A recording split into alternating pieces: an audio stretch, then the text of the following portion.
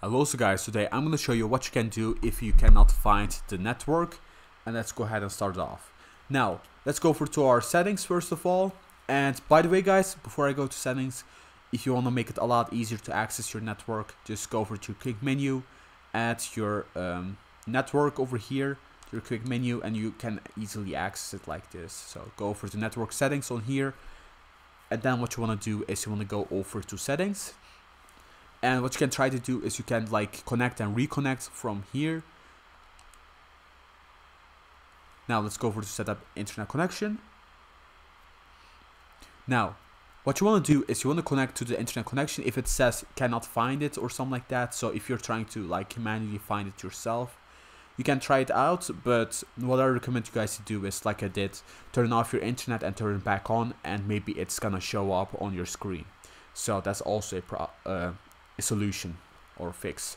So now what you can also try to do is if you want to really play right now with internet connection, connect a hotspot. So I'm going to do that right now. I'm going to get a hotspot over here, for example. So personal hotspot, I'm going to turn it off and on.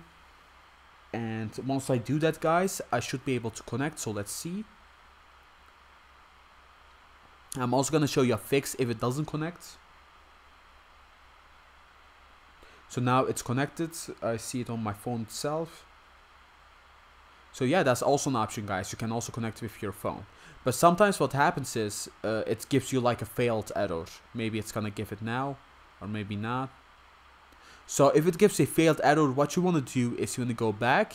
You want to wait a bit on the home screen. You can also just go ahead and turn off your hotspot and turn it back on.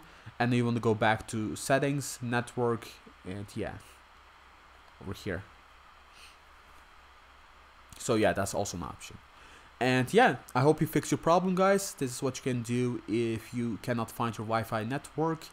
And if you're trying to like manually add it, make sure that it's like completely right. And also, it's also what I recommend you guys to do is that reset your, not reset, but restart your router or modem. So yeah, that's also a solution. So thank you for watching, guys. Please like, subscribe, and take care.